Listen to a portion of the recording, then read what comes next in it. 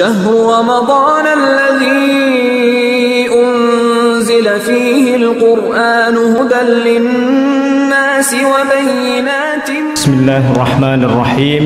السلام عليكم ورحمة الله وبركاته. الحمد لله رب العالمين وبه نستعين على أمور الدنيا والدين والصلاة والسلام على أشرف الأنبياء والمرسلين. Sayyidina wa maulana Muhammadin wa ala alihi wa sahbihi ajma'in. Rabbi surahli sadri wa yassirli amri Wahlul uqdatan min lisani yafqahu qawli. Jamaah sholat isya dan taraweh yang insya Allah dirahmati oleh Allah. Alhamdulillah ya, kita ditemukan oleh Allah ya, di bulan Ramadan 1439 Hijriah adalah suatu rahmat tersendiri di mana sebagian dari uh, saudara kita sudah mendahului sehingga tidak bisa bertemu dengan Ramadan uh, tahun ini. Jamaah yang insya Allah dirahmati oleh Allah, ya selaku pengganti, ya, tentunya tidak sebaik yang aslinya. Ya. Namun demikian kami berusaha untuk sebisa mungkin ya memberikan sesuatu yang bisa dibawa pulang oleh para jamaah sekalian. Pada kesempatan kali ini perkenankan kami e, untuk menyampaikan e, topik yaitu keteladanan. Keteladanan merupakan sesuatu yang mudah untuk bisa diomongkan tetapi sulit untuk di, di, di apa namanya dilakukan ya. Nah kebetulan ya kali ini ya Pak Rektor yang sangat sering hadir ya dan kebetulan ada ya. Saya sudah kenal Pak Rektor sudah mungkin 24 tahun gitu ya. Dan mulai itu ya sejak kenal sampai sekarang Alhamdulillah tidak berubah gitu ya. Tetap ramah gitu ya. Dan memberikan toladan ya persahabatan persaudaraan gitu ya. Saya kira sangat bagus ya.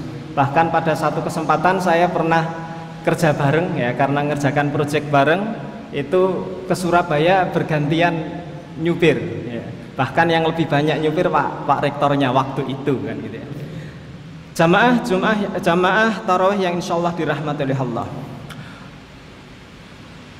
Keteladanan yang sejati ya, tentunya telah Allah berikan kepada para nabinya Allah ya. dari Nabi Adam sampai Nabi Muhammad Sallallahu Alaihi Wasallam dan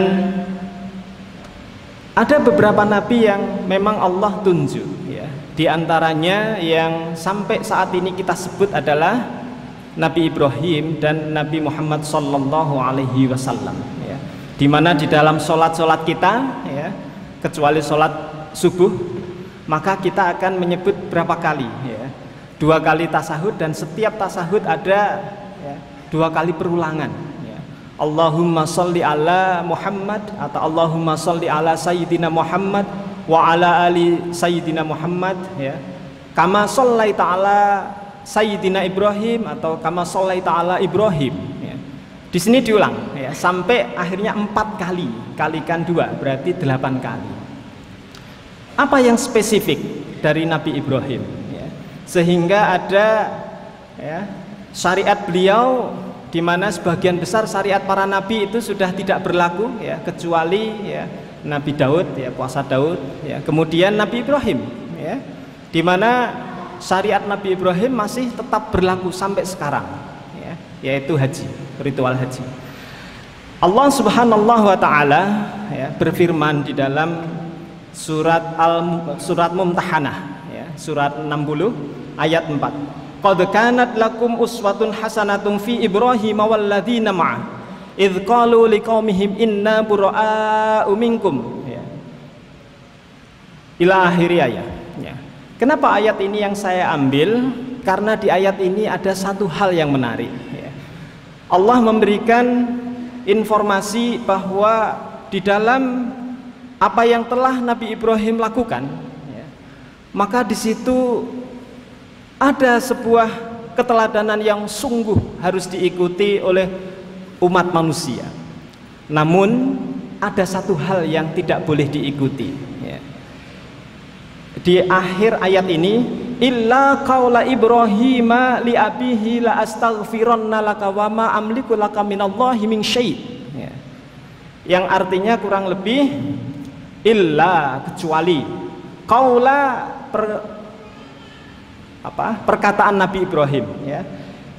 Illa qaula Ibrahim li abihi ya. Perkataan Nabi Ibrahim kepada siapa? Kepada bapaknya. Apa yang dikatakan Nabi Ibrahim kepada bapaknya? Yaitu la astaghfiranna laka wa ma amliku laka minallahi min syai ya. Di sini adalah ungkapan perkataan Nabi Ibrahim yang memintakan ampun kepada bapaknya. Ya. Kenapa ini tidak boleh? Apa salahnya? Nah, secara rinci dijelaskan di surat Maryam ya. Mulai dari ayat 41 ya. Wadhkur fil kitab Ibrahim innahu kana siddiqan nabiyya ya. Dan ingatlah ya fil kitabi ya di dalam kitab yang menceritakan tentang kisah Nabi Ibrahim ya. Innahu kana sesungguhnya dia karena telah ada baginda Nabi Ibrahim siddiqan nabiyya orang yang siddiq ya, dan juga nabi ya. kapan yaitu idqala li abihi ya abadi lima ta'budu ma la tasma'u ma la yasma'u wa la yubsiru wa la yughni anka syai'a ya ketika Nabi Ibrahim itu berkata kepada bapaknya wahai ayahku sayang. Nah, ini ungkapan yang sangat bagus. Ya abadi Wahai ayahku sayang Lima tak butuh nak Ngopo to? Kenapa to kamu itu lah apa tak butuh kamu itu menyembah la yasmau sesuatu yang sama sekali tidak bisa mendengar ya wala yubsiru dan sesuatu yang sama sekali tidak bisa melihat ya wala yughni angka syai'a dan sama sekali tidak memberi manfaat apa pun pada kamu. Ya, ya abadi, duhai ayahku tercinta, ayahku sayang. Ya, ini sesungguhnya aku ya. Ya ini ungkapan Nabi Ibrahim ya yang menyatakan dia lebih tahu tetapi tidak sombong ya. Sesungguhnya telah datang kepadaku apa itu minal ilmi yaitu ilmu. Malam ya atika yang ilmu tadi tidak datang kepadamu wahai ayahku sayang ya. Wattabi'ni fattabi'ni ahdika siratong sawiya. Maka untuk itu ikutilah aku. Ini Nabi Ibrahim ya. Kemudian dilanjutkan ya abatila ta'budi syaitan ya. Wahai bapakku sayang, janganlah kamu menyembah syaitan. Inna syaitana sesungguhnya asyaitan sesungguhnya syaitan itu karena ya telah ada pada syaitan tersebut lirrahmani kepada Allah yang maha penyayang ya asiyya yaitu bermaksiat kepada Allah. Senantiasa mengabaikan perintah Allah kemudian ya abadi inni akhafu. Ini yang menarik ya. Wahai ayahku sayang ini sesungguhnya aku akhafu. Itu sangat takut ya. Ayyamassaka adzabun. Yaitu terhadap suatu azab yang akan me, apa ya semacam e, mengenai ya. Yamassaka menyentuh ya, menyentuh ya. Istilahnya menyentuh sedikit saja ya. minar rahmani dari Allah yang maha ya, penyayang fatakunu lisyaitani waliya ya. Jadi ini kalau ada misalnya ada seorang yang senantiasa sabar tiba-tiba marahnya bukan main kira-kira yang salah itu yang dimarahi atau yang marah tentu saja yang salah adalah yang dimarahi ya. Karena orang yang sangat sabar nggak pernah marah tiba-tiba marahnya bukan main ya maka itu adalah kesalahan ada pada orang yang dimarahi Qala araghibun anta. Kemudian bapaknya jawab. Ya. Bapaknya berkata araghibun anta. Ya. Kok kamu kira-kira ngumpat-ngumpat Tuhanku semua itu ngapain? Ya. wahai Ibrahim ya la illam tantahi la arjumannak kalau kamu tidak berhenti maka aku akan melemparmu merajammu. La arjumannak wahjurni malia ya. di saat inilah Nabi Ibrahim diusir. Ya. wahjurni malia enyahlah kamu pergilah kamu. Ya. kalau bahasa Jawanya minggato kan gitu ya. Pergilah kamu dalam waktu yang lama nah setelah kejadian itulah ya Nabi Ibrahim dengan lunglai ya kemudian berdoa qala salamun alaik Sa'astaghfiru laka rabbi innahu kana bi hafiyya. Setelah Nabi Ibrahim itu diusir oleh bapaknya yang tercinta, kemudian Nabi Ibrahim hatinya hancur. Kemudian Nabi Ibrahim mendoakan bapaknya, yaitu doanya Rabbi innahu kana hafiyya. Saya akan mendoakan kamu, memintakan ampun kepadamu wahai bapakku innahu kana hani hani hafiyah ya. Jadi ini Nabi Ibrahim mendoakan kepada Allah tapi doanya adalah permohonan ampun ya. Kembali ke ayat sebelumnya di mana Nabi Ibrahim itu ya tidak boleh dicontoh. Semua yang ada dari Nabi Ibrahim itu boleh dicontoh kecuali illa qaula ibrahim li abihi la astaghfiranna laka wa ma amliku laka minallahi min syai ya.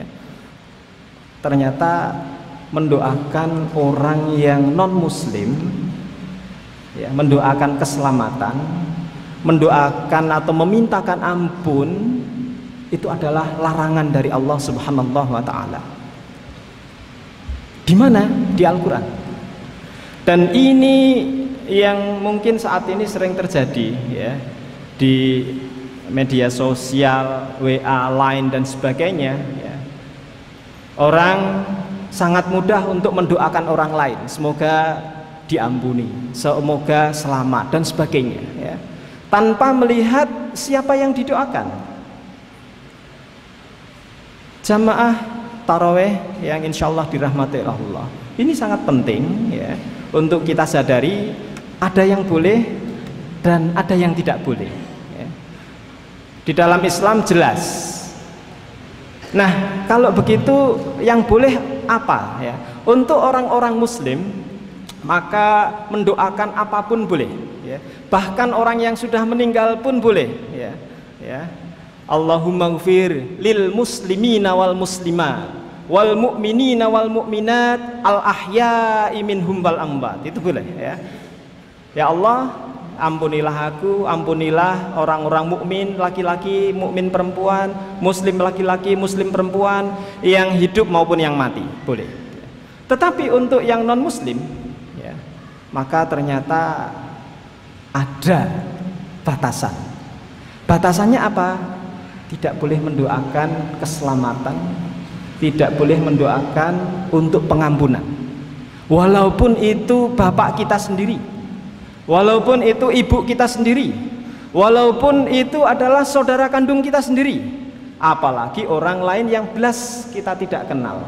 Ya. Makanya mungkin di grup-grup ya, kalau ada yang meninggal dan sebagainya, gitu ya, mohon dicermati dulu. Ya. Siapa yang meninggal? Muslimkah atau tidakkah? Maka bila Muslim silahkan doakan sebanyak-banyaknya karena pada saat orang meninggal itu ya hanya doa dari orang lain yang bisa menyelamatkannya sementara kalau dia non muslim maka cukuplah ucapan-ucapan lain yang tidak melanggar syariah Islam ya. jamaah jum'ah ya jamaah e, taraweh yang insya Allah dirahmati oleh Allah satu hal ya, eh, untuk sebagai penutup ya. Allah berfirman di dalam surat Al-Haqqah ya. Wa amma man utiya kitabahu bishimalihi fayaqulu ya laitani lam uta kitabiya wa lam adri ma hisabiya. Ya laitaha kanatil qadiyah ما أغنى عني مالية هلك أني سلطانية خذوه فغلوه ثم الجحيم صلوه ثم في سلسلة درؤها سبعون ذراعا فاسلكوه. innahu kana la yu'minu billahil azim. Ya, yang kurang lebih artinya wa amma dan orang-orang yang manutia yang didatangkan kepadanya kita bahu ya, yaitu kitab catatan amal bishimalihi ya, dengan menggunakan tangan kiri.